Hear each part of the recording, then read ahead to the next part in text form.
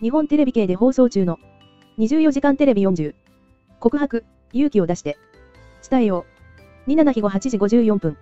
チャリティーパー。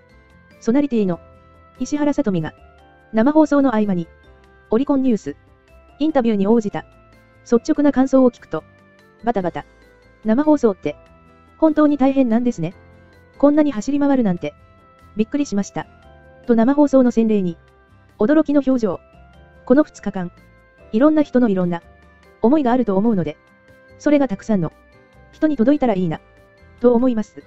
と改めて、意気込みを語った。ここまでの放送で、印象に残った企画として、フィギュア羽生結び弦、テレビウィ告白、少年と夢のアイスショー、ウィズゴーヒロミ、お上げ羽生結び弦選手の VTR を見て背中を押されるというか、感動しましたね。と目を輝かせる。オフシーズンの真夏の夜に、コンディションを整えて、ひろしくんや全世界の人のために踊ることは、すごいことだと、心を打たれました。と一夜限りのスペシャルステージに、興奮冷めやらぬ様子だった。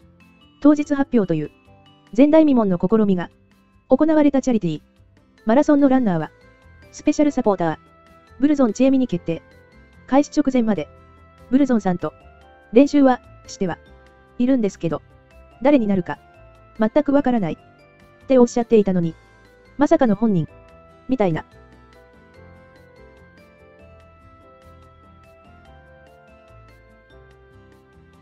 前にお会いした時より、筋肉が張っていたので、練習されているんだな、と。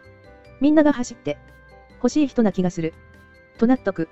自分がランナーである。可能性もあったことに、すっごいハラハラ。知ってました。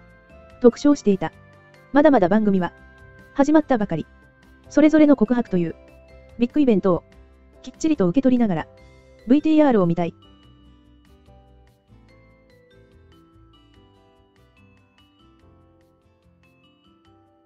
私が生まれる前から、両親が見ていた。わら展に出演。できるのは嬉しいです。いろいろ楽しみです。と今後の企画に、期待に胸を膨らませ、しょっぱなから、総合司会の、三浦真美アナウンサーに、こんなに大変なのは、私も初めてです。と言われて、まさか。そんな時に、出くわしたんだと、わら。でも、皆さんが、そう思っているなら、一緒に乗り越えられれば、嬉しいです。と前向きに語っていた。24時間テレビ40告白。勇気を出して伝えよう。8月26日。56コロン30から27日後8時54分。今回のテーマは告白。様々な困難に立ち向かい、その思いを勇気を持って伝える人たちにスポットを当て、明日への希望と勇気を届ける。記念すべき第4例会の節目を迎え、これまでの歴史を超える新しい可能性を探り、チャレンジする24時間テレビを目指す